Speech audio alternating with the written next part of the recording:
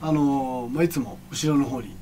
えー、色落ちのいいジーンズが並んでると思うんですが片面のまあ最終ですね53年。実はこの一番端っこ。えー、これはもうあのぜひ、えー、しっかり見てほしいんですがジーンズの醍醐味です。このやっぱり色落ちです、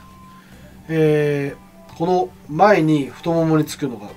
この落ち方ですね。これがヒゲでこのいわゆる後ろ。後ろ側につくのが、えー、膝の裏ですね。この膝の裏。両膝の裏に、えー、線がつく。こちらを蜂の巣と。いうこれはあの古着用語ですけれども、えー、アメリカ例えば僕らロスに買い付け行ってももうヒゲっていうあの落ち方で通じます。日本語ですが、えー、これはもう本当に当時デッドストックあの糊が完全についた状態から、えー、そのまま履いてます。で、えー、これうちのあの社長が買い付けで買ってきてくれたんですけれどもこのカーパッチの状態見てください。これ実は1回しか洗ってないんです。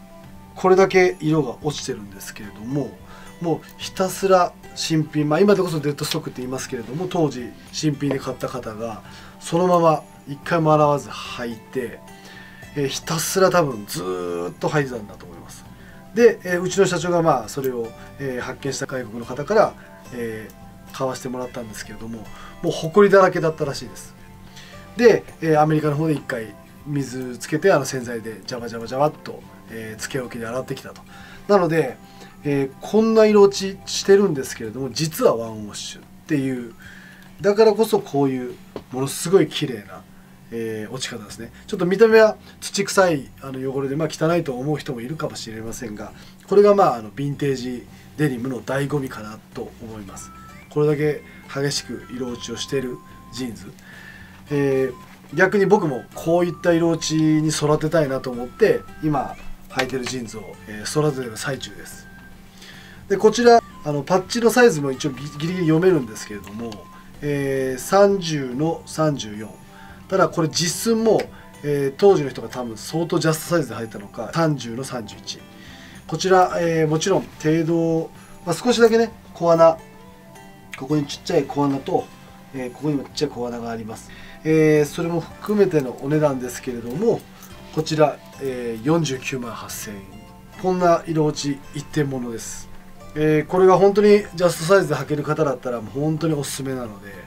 えー、これだけ今うちのお店見渡していただいてある WX の中で一番色落ちが綺麗です。まあ自分で落とすのがちょっと苦労するなとか、えーまあ、週に1回ぐらいしか履けないからできたらこうやって色落ちしたの履きたいなって思う方にとってはこれは一番最高な落ち方だと思います。またあのいくつかあの本当にコメント欄にですね、えー、質問をいただきました。今日はちょっとその辺をですね、えー、お答えできたらなと。デニムは、えー、どのぐらいの頻度で洗濯しますか？今ちょっと自分が履いてるのは、えーまあ、1からデッドストックから育ててる状態です。2年洗いませんとちょっと断言してるんですがえ皆様やっぱりあの普通にですね、えー、ジーンズ履いて、まあ、あの今年もこのあの暑い夏やっぱ汗もかきますし、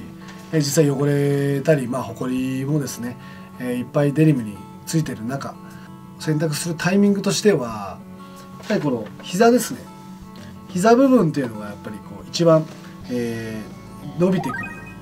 場所だと思います。まあ、あのお尻もそうなんですけれども、えー、お尻が擦れる部分とあとこれしゃがんだりして膝が出てくるこの位置がやはりあの最終的に擦れてしまったり薄くなって伸びて破けてしまうという原因にはなるので、まあ、膝がこう出てきたなーって思ったらそろそろ洗おうかな、まあ、10回に1回ぐらいこうちゃんと、えー、つけ置きをして水を通してあげるというのが大事かなと、まあ、もちろんあのその時にビヨンデックス、えー、こちらあのお店でも3900円に消費税で売っておりますので、えー、こちらなどなどを使ってあのきちんとデニムを洗ってあげるというのは大事かなと思います。まあ、あの今年も暑い夏ですがえ夏のデニムの匂い対策、えとか何か、え行っていたら教えてください。汗かいて、まあ、やっぱ匂いと過去に履いてきた方のジーンズがやっぱこう汗を吸った匂いってやっぱちょっと独特かなと。やっぱりこう一番は洗濯をするというのが。あのあとはやはりこう自分もこれは2年洗わないみたいな育て方をしてますが、まあ、今有名なのでいうとファブリーズあの除菌してくれて匂いも取ってくれる、えー、消臭スプレー的なものは売ってると思いますので、えー、それはジーンズをやっぱ裏返しにして、まあ、裏部分にしっかり、えー、吹きかけてあげてあとはやっぱりこう天気のいい日ですね。天気のいい日に、えー、ちゃんと外で干してあげる、まあ、あのデニムも裏返してあげればあの日焼けをしたりとかっていうのはあまりないと思うのでそういった除菌スプレーをかけた上にちゃんと干すっていうのが大事だと思います、えー、デニムののり付けはリーバイスのみでしょうか？他社のものも、えー、可能でしょうかと。もちろんあの全然他社のものでも、えー、構いません。あのうちのお店の方で、えー、のり付け3900円に消費税でお預かりして、えー、まあ1週間ほどお時間いただきますがあの1回つけ置きでしっかり洗って、まあ、湿ってるデニムの裏側にのりをつけて、まあ、あのちょっとバリッと硬、えー、い状態にするこれはまああのヴィンテージ問わずデニム全てのデニムに問題ないと思っておりますので他社様のものをブランドまあ今いろんなデニムのブランドあると思いますしリバイスが多いのかもしれませんけれどももちろんあのリーとかラングラーとか、えー、他のヴィンテージものでも構いませんしまあ今のいろんなブランドさんのものでもあのうちの方のお店でのり付けっていうのはいたしますのであの G ジャン、えー、ウォッシュした後のり付けとかしないんでしょうか？やっぱりこうジーパンはもうはっきりこう前と後ろで出る部分がジージャンの場合は多分袖ですね。袖部分のこの位置に、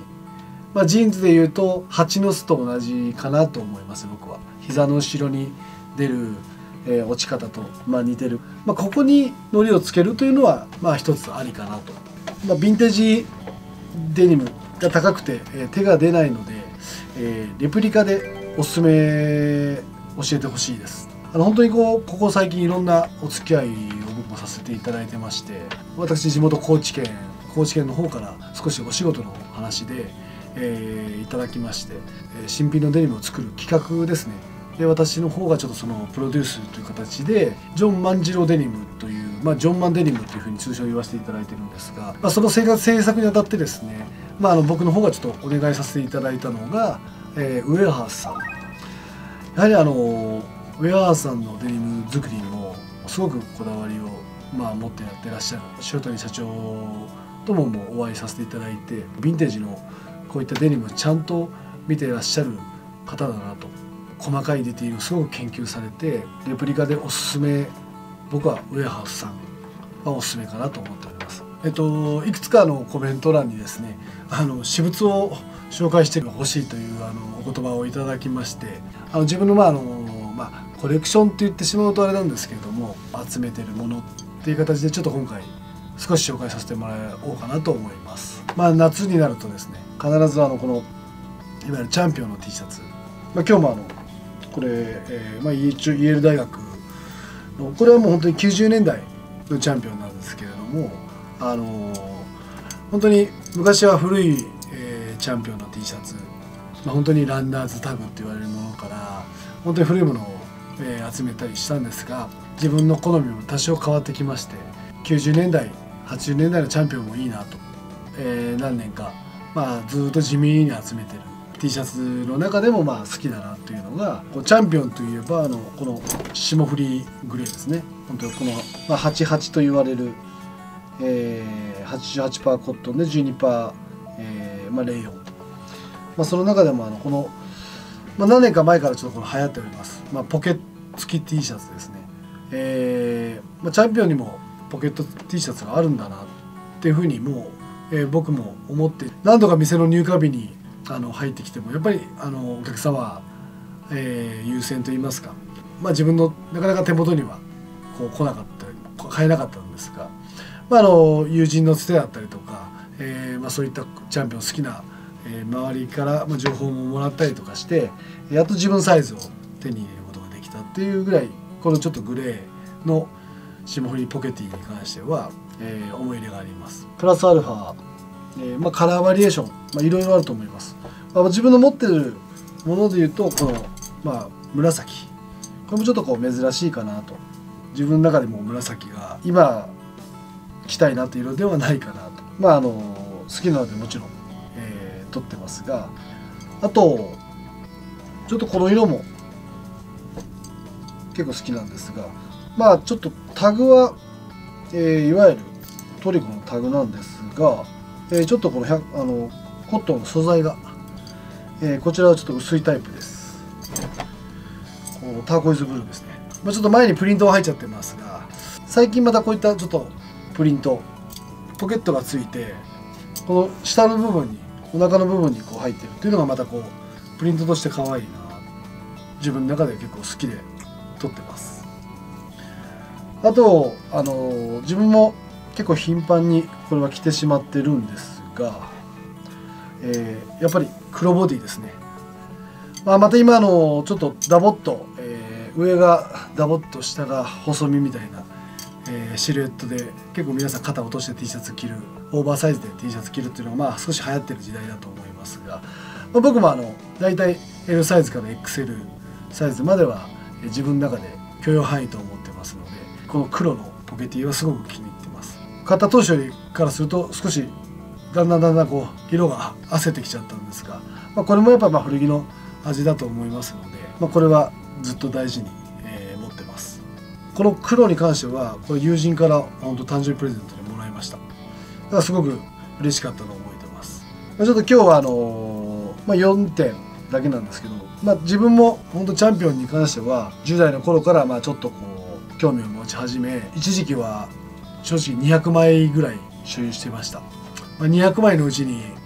何枚ぐらいこう普段着てるんだっていうとまあ言ってもまあ多分15枚ぐらいだったと思うんですがいろいろあって、まあ、手放して今はすごく厳選されて、